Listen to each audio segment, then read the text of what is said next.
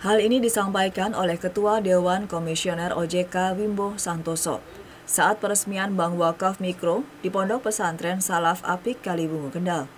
Pihaknya siap berupaya menghubungkan nasabah Bank Wakaf Mikro sebagai produsen dengan pasar atau konsumen, yang merupakan salah satu program dalam pengembangan Bank Wakaf Mikro. Menurutnya, sebagian kecil nasabah masih merasa kesulitan menemukan pasar atau menawarkan dagangannya. Dan OJK mulai berkoordinasi dengan pemerintah daerah, baik di level provinsi maupun kabupaten kota, untuk mencarikan pasar yang tepat bagi nasabah Bank Wakaf Mikro.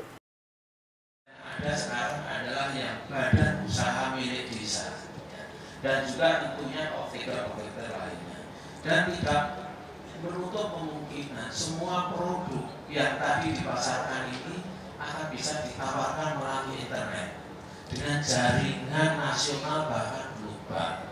Jadi tadi kalau jualan batik jangan khawatir, nanti begitu masuk jaringan internet akan kita pesan. Ya. Ya. Bahkan nanti waktu ulang tahun kita kita akan pesan sadap ya untuk daerah Paripura bahkan juga OJK Semarang Pak Ahmad kalau rapat jangan beli makanan belilah dari produksi bapak mikro Ahmad ini setiap hari kerjanya rapat pasti beli makanan dan juga eh, ini merupakan salah satu tugas OJK bagaimana kehadiran OJK ini bisa dinikmati oleh semua lapisan masyarakat terutama masyarakat inilah yang kita sebut dengan bagaimana upaya kita menjangkau target financial inclusion nasional 75 persen dan alhamdulillah sudah tercapai.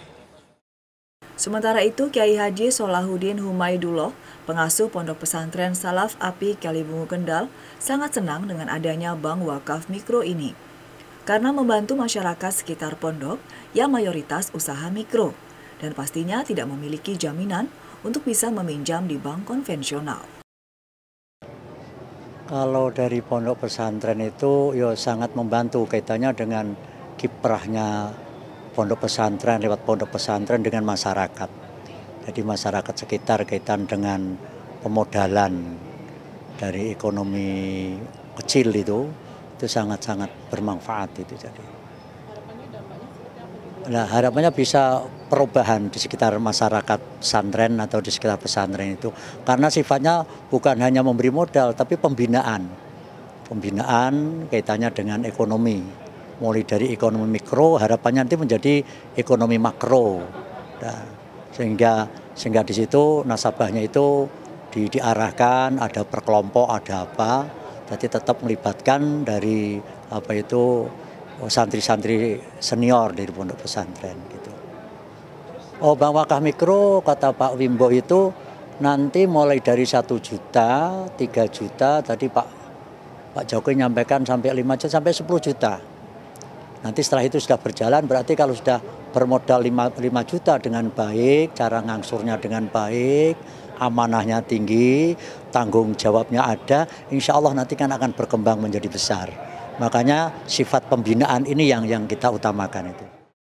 Hingga saat ini, pemerintah mencatat Bank Wakaf Mikro telah menyalurkan pinjaman tanpa bunga sebesar 34 miliar rupiah kepada 25 ribu nasabah yang disalurkan melalui 56 unit Bank Wakaf Mikro yang sudah berdiri di berbagai pondok pesantren di Indonesia, di mana pinjaman pertama nasabah mendapatkan 1 juta rupiah.